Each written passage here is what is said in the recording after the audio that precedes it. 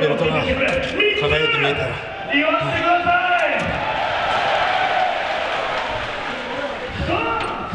俺が選んでたのが。間違いじゃなかったよ。いいじゃん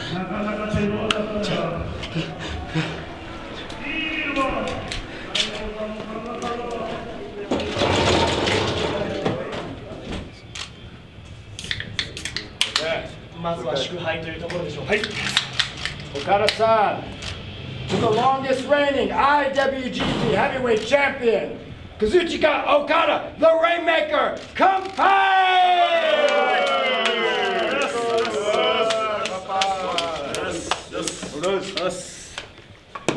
よっしゃさあ、同じケイコスのプレイに迎えられたところですけれども、改めまして10度目の防衛おめでとうございます。ありがとうございます戦いを終えて今、どんな気持ちでいますか。いや本当にきついな。と、ええ IWGP の戦いはきついなと思います、ええ今日もまたものすごい攻防となりましたけれども、真田選手とのこう勝負を分けた、勝敗を分けたその差というものは、どなたに感じますか？ええわかんないですね、ええまあ、正直こんな紙一重の戦いになるとは思ってなかったですけど、うん、そんな何があってのが考えられないぐらい強かったですね、え戦前に予想していたよりも真田選手は手強かったという感想なんでしょうか？えまああれが本当の真田の実力なんだと思います、ええ。やればできんじゃんって最初からそれぐらいでやってくれよと。まあこのベルトに挑んだわけですからまだまだ手強い敵になっていくんじゃないかなと。厄介な相手が1人増えたなと思います。あの今回初めて30歳で同い年のチャレンジャーを迎えるということになったわけですけれども、そのあたりの意地みたいなものっていうものもチャンピオンの中にはあったんでしょうか？まあもちろんありますね。まあ30歳同級生かもしれないですけど僕はもうこのベルト6年前から前に出ますしやってきたこと経験値のレベルが違うんじゃないかなと思います今少しお話にも出ましたけれども、ちょうど6年前、レインメーカーショックが起きたのはまさにここ大阪でした。あれから6年経って、ついに10度目の防衛、この記録についてはどう捉えていらっしゃいますか？い。やーなんか2桁いったなと別に2桁を目指してたわけでも、ね、防衛の新記録を目指してたわけでもないですけどまあ何回4回目ですかこのベルト持ってやっと2桁いけたわけですから。まあどんどんどんどん僕は本当防衛回数というよりも今日みたいな激しい戦いをしてプロレスの良さを皆さんに伝えていくことのが大事だと思ってるんで、また次はニュージャパンカップこのベルトをしっかり守ってどんどんどんどんすげえ戦いっていうのをすげえプロレスっていうのをプロレスラーの凄さっていうのを見せていきたいなと思ってます。ただやはりその中で連続11度の防衛記録というものを棚橋宏選手が持ってますけれどもどうなんでしょうか。少しはやはりその記録というものを意識する部分はあるんでしょうか。うん。ついで、えそんなに別に、まあ、この最長っていうのもそうですし、別に最多防衛したからどうとかっていうのも、まあ、そういう記録っていうのはまた誰かに破れていくもんだと思うので、まあ、正直そんなに11回防衛した時だって誰もそんな田中さんの記録を破ることはできないとみんなが思ったと思いますし、まあ、その僕の前の最長の橋本さんの時だって誰もそんな長い歴史ってのを破ることはできないと思ってたはずですけどこうやって破る人間が出てきたんで、まあ、別に田中さんの11回超えても僕の中ではそんなに大きなものではないので、まあ、ついでで次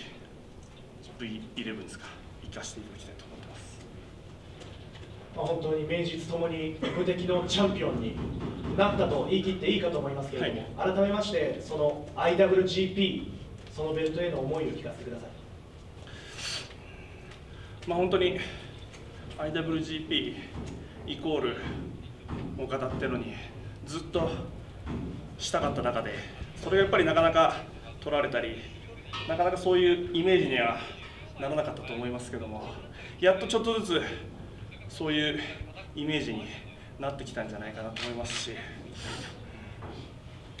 まあ俺が巻いてなきゃ IWGP じゃないでしょとそんぐらい思い入れありますんでしっかりとこのベルトとともに新日本プロレスを大きくしていきたいと思ってます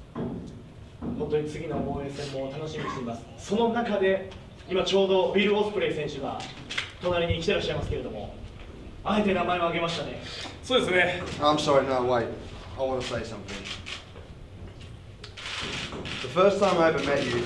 October 2015, and I challenged you. In my young years, my young years, I was this close to beating you. For two years, I've been in Shingon Pro Wrestling. For two years, I've been in New Japan Pro Wrestling. Under your tutelage, I've watched you dominate man after man that has ever came for that championship. I don't know if this is a test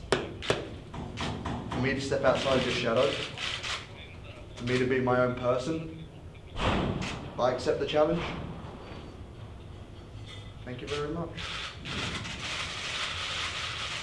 Cheers. Just to let you know that all the men that you've dominated, the difference between all of them and me, I'm going to be the one that beats you.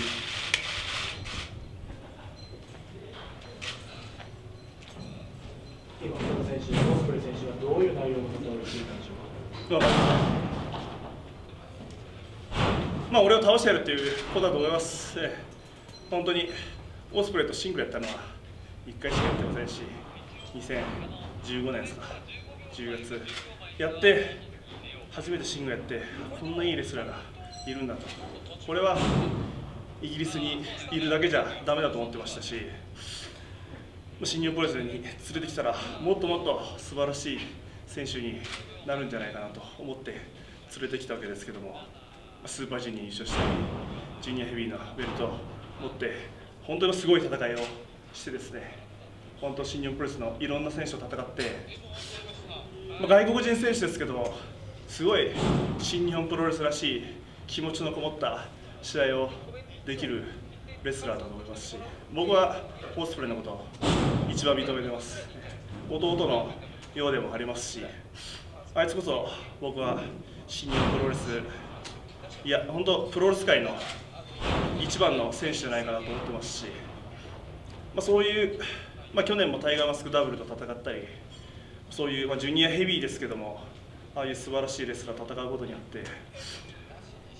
まあ、そういうのを経験してまた僕も強くなれると思いますしオスプレイもあんだけただ今日もニコニコして岡田さんやりますよっていう感じじゃないですから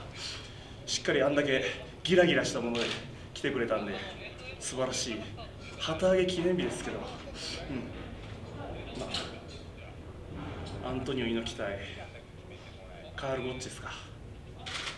まあ今の時代で言えば岡田和親対ビル・オスプレイなんじゃないかなと思います。旗揚げ記念日期待してください。本当にドリームマッチを楽しみにしています。改めましておめでとうございました。ありがとうございました。代表質問は以上です